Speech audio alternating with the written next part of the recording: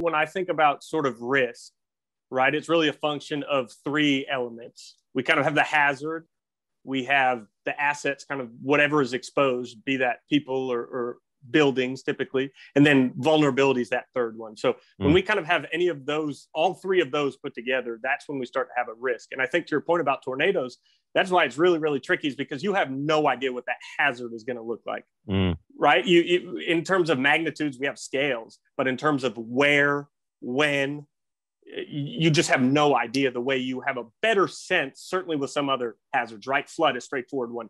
Uh, yeah. you know we have flooding maybe not in historically mapped floodplains but you have a general idea where water is going to accumulate.